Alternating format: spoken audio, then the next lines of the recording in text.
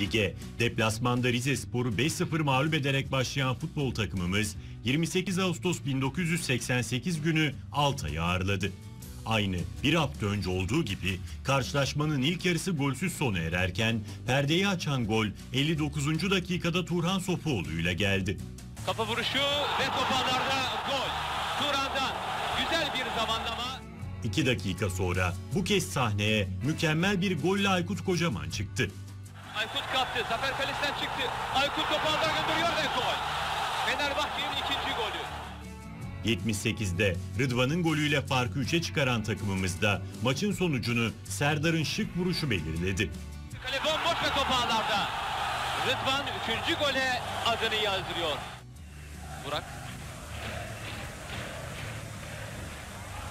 Serdar kaptı. Zafer Kalesi'nden çıktı. Serdar'ın vuruşuna top ağlarda.